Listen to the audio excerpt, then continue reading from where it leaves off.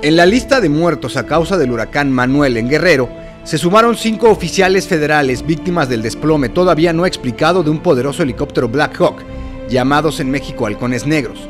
No es la primera vez que un Black Hawk de la Policía Federal se desploma, pero es difícil establecer por qué, ya que al menos muchos de los que vuelan en territorio nacional no cuentan con caja negra.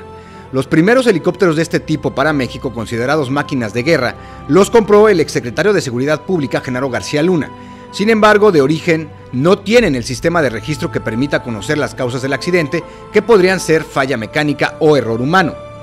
Además de que las causas de la caída que manejan con mucho hermetismo, los expertos cuentan con pocos elementos para conocer qué es lo que pasó, ya que en otras investigaciones, el registrador de vuelo o caja negra, que capta actividades o conversaciones en cabina, lo determina.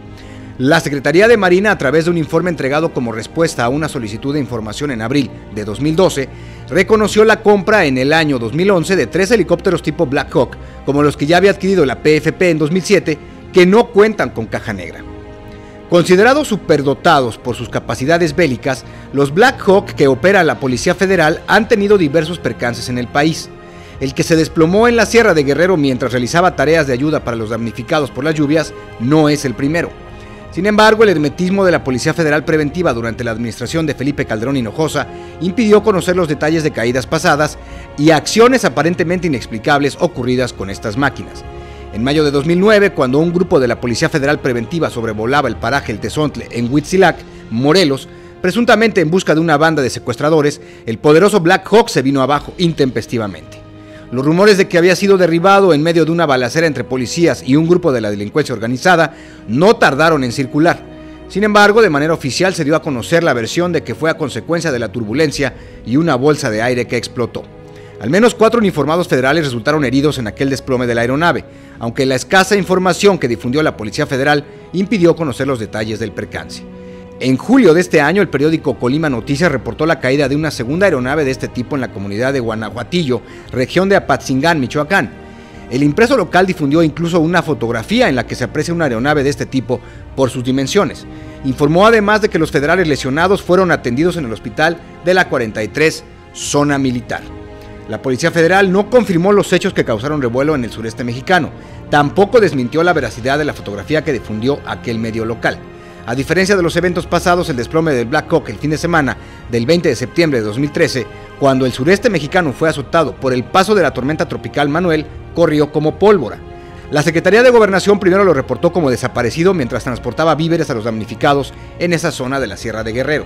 En el helicóptero viajaban cinco tripulantes, el piloto Enrique Briceño Martínez, el copiloto Desiderio Rosado Zárate, el mecánico de vuelo José Ramón Peláez y los elementos de operaciones especiales Isaac Escobar Bustamante y Julio César Zarco Francos. Todos perdieron la vida. La versión oficial que se dio a conocer por gobernación a través de un comunicado fue, mientras se realizaban tareas de rescate y traslado de víveres en la contingencia generada por la tormenta tropical Manuel en el estado de Guerrero, un helicóptero Black Hawk sufrió un accidente en el que no hubo sobrevivientes. La aeronave despegó el jueves 19 de septiembre de la base naval de Icacos, en el puerto de Acapulco, y se dirigía a la comunidad de La Pintada, en Atoyac de Álvarez, donde se desgajó un cerro sepultando a varios habitantes de la zona. Desde ese día, el Black Hawk perdió contacto con la torre de control de Acapulco. Dos días después, fue localizado y la tripulación reportada muerta. El halcón negro es fabricado por la compañía Sikorsky para el ejército estadounidense. Su diseño y tecnología se ha perfeccionado a lo largo de casi 40 años para conseguir un helicóptero sofisticado, capaz de sobrevivir al fuego enemigo, incluso a ataques con ondas electromagnéticas. Se dice que para los Black Hawk no hay misiones imposibles debido a los instrumentos con los que cuenta, que les permiten desde volar en la oscuridad, gracias a la tecnología de navegación y visibilidad, hasta un tren de aterrizaje y sistema de descenso mediante soga rápida, que facilita el acceso de las tropas a gran variedad de terrenos y condiciones climatológicas. Pero en territorio mexicano, el vuelo de los halcones negros no ha sido el más afortunado y se han desplomado.